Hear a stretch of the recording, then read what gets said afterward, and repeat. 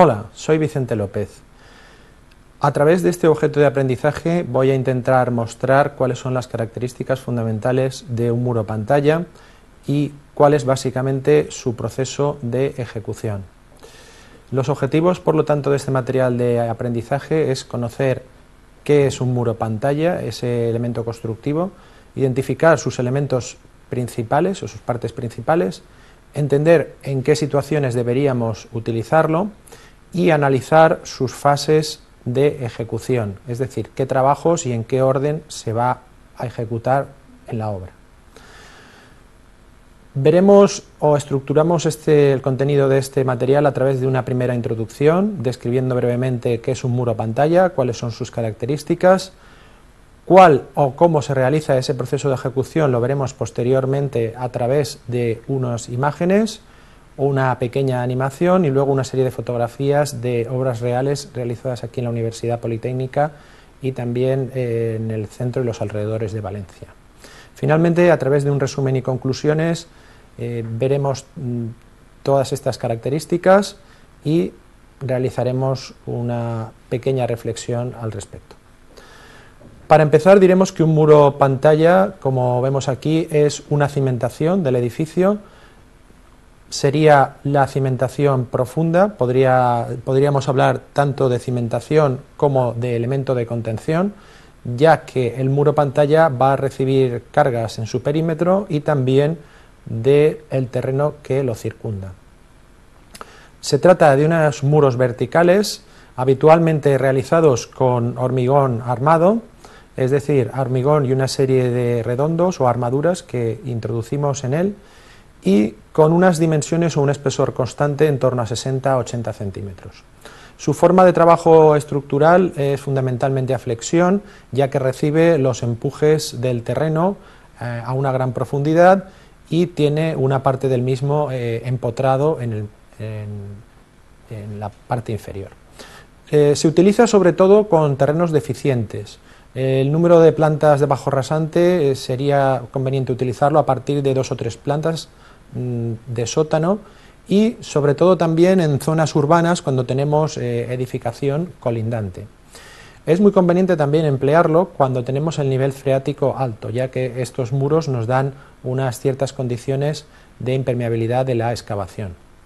En esta imagen podemos ver un muro pantalla ejecutado junto a una edificación y sus elementos fundamentales serían esos muros, ese muro que normalmente se, ejecuta por tramos o partes y la viga de coronación o de remate que haría que esos elementos se unieran por la parte superior y trabajaran conjuntamente. En el proceso de ejecución vamos a distinguir varias fases. La fase inicial no estaría dentro del proceso, pero sería el estudio geotécnico y determinación de las características de ese terreno. Realizaríamos un replanteo y, en su caso, si fuera necesario, una extracción de agua debido al nivel freático. Las fases son fundamentalmente seis. La primera, la realización de unos muretes guía en todo el perímetro del solar, que nos van a servir para guiar la cuchara que luego posteriormente va a hacer la excavación. Seguiríamos con esa excavación, iríamos poco a poco extrayendo el terreno. A continuación colocaríamos la armadura, posteriormente se hormigonaría, seguidamente, una vez ejecutado ya ese hormigonado y concluidos cada uno de los tramos de ese muro, se eh, realizaría la viga de coronación y finalmente se ejecutaría el vaciado. Eh, hay que distinguir o hay que significar en este aspecto que el vaciado se realiza posteriormente a la ejecución del muro, a diferencia del resto de cimentaciones. Por supuesto, una vez concluidos estos trabajos, se haría el resto de la cimentación del solar y los forjados por niveles. En, esta, en este dibujo podemos apreciar cuáles serían esas fases. Se iniciaría con la ejecución de los muretes guía, dos muretes paralelos en todo el perímetro del solar. A continuación se realiza la, extracción del terreno con la cuchara, normalmente se denomina esta cuchara cuchara bivalva, es una cuchara que poco a poco va extrayendo el terreno a una profundidad considerable. En esos huecos posteriormente se va a introducir la armadura para seguidamente en los pasos 4 y 5 eh, realizar el hormigonado y completado de cada uno de esos tramos. Vemos también en el paso 5 que se realiza, una vez completados los tramos, la viga de coronación de la parte superior. Finalizado todo el proceso, se termina excavando poco a poco el terreno y realizando un atado o un anclaje de esos elementos provisional hasta que podamos concluir el resto de la construcción con los forjados de cada nivel. Vemos en, el, en este vídeo cómo se realizan esos, eh, ese replanteo, se eh, divide el solar en una serie de paneles y vemos que hay distintos tipos de paneles, unos paneles iniciales, paneles de arranque y una serie de paneles también de cierre. Vemos que todos ellos van machiembrados, es decir, que tienen una forma cóncava y convexa para irse uniendo y que hay algunos paneles especiales en ángulo. Vemos en resumen del proceso de ejecución desde el inicio con la construcción del murete guía, la perforación de la zanja, colocación de una serie de tubos en las juntas, hasta finalmente eh, la extracción de la tierra cuando hemos terminado eh, la ejecución de las pantallas. Se aprecia mejor en estas imágenes en la cual mm, vemos la, cuchara bivalva, la maquinaria, bueno, realizando esta extracción del terreno, guiada por, por los muretes. Hay que recordar que esta excavación se realiza a una profundidad considerable, por lo tanto, para asegurar mm, que esto se haga correctamente es para lo que empleamos los muretes guía. Este terreno poco a poco se iría eh, retirando y eliminando de la excavación. Lo vemos mejor aquí en estas eh, fotografías de una obra real en el cual vemos las dimensiones y las características de, de esta cuchara y del murete guía se aprecia en la imagen de la derecha. Bien, mm, otras imágenes también de estas cucharas con similares características y vemos un poco el proceso de la obra, en este caso son también una obra del Metro de Valencia y una obra realizada aquí en la Universidad Politécnica. Este es el aspecto que tendría la obra durante la ejecución. Podemos necesitar el empleo de lodos tixotrópicos, de ahí un poco eh, ese manchado eh, o esos productos que se aprecian en superficie. Los dos tixotrópicos son de tipo bentonítico y se emplean para contener el terreno durante la excavación. Recordemos lo que era el murete guía, esos dos elementos que se construyen previamente para guiar la cuchara en el proceso de excavación. A continuación vamos a, ver en el, en el vídeo también que se colocan una serie de juntas para realizar entre unos elementos y otros el hormigonado, se coloca la armadura y posteriormente se introduce el hormigón.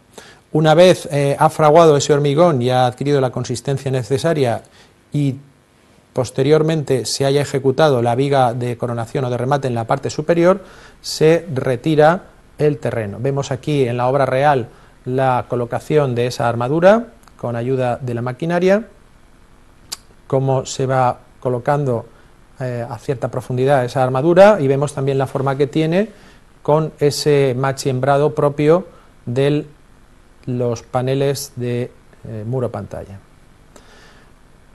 Vemos la trompa de elefante más en detalle en estas imágenes y se ve que es un conducto y en la parte superior tenemos un pequeño embudo en el cual, o tolva, sobre el cual se vierte el hormigón.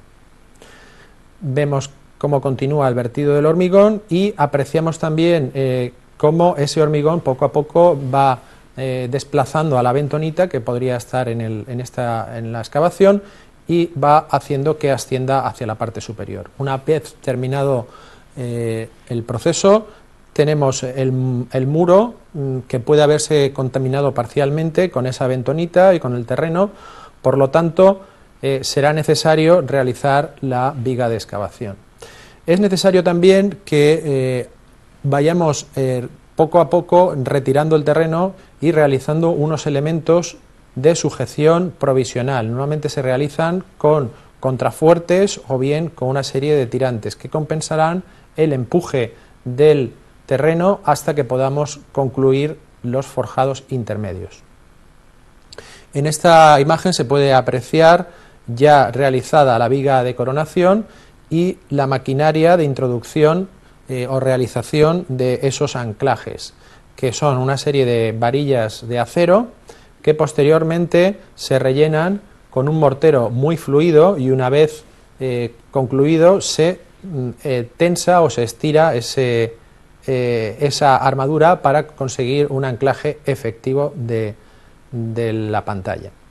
Vemos que una vez asegurados eh, esa pantalla, lo que hacemos a continuación sería proceder a la excavación, como ya hemos dicho.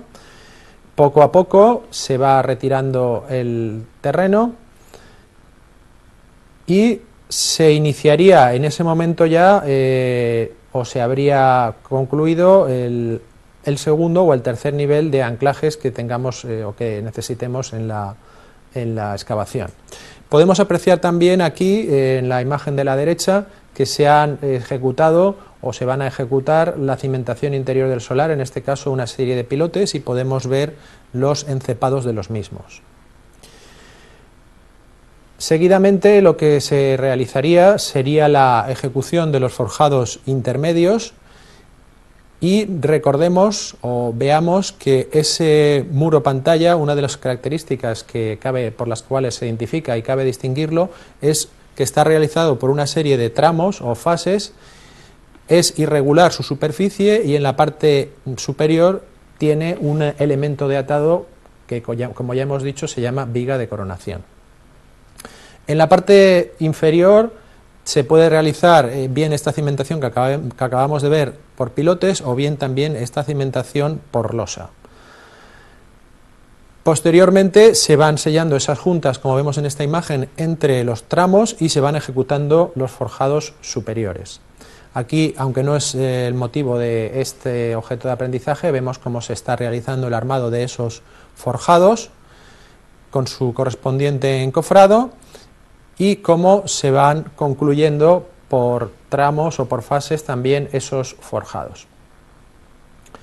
Se van ascendiendo los niveles, los distintos niveles de la obra y eh, cabe resaltar aquí también la conexión entre esos forjados y el muro pantalla que ya está ejecutado, que tendrá que realizarse mediante unos eh, anclajes convenientes y armadura adecuada.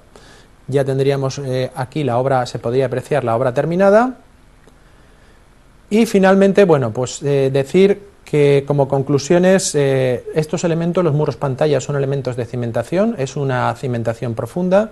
Hemos visto que requieren una maquinaria especial para realizarlos a cierta profundidad y unos medios eh, especiales.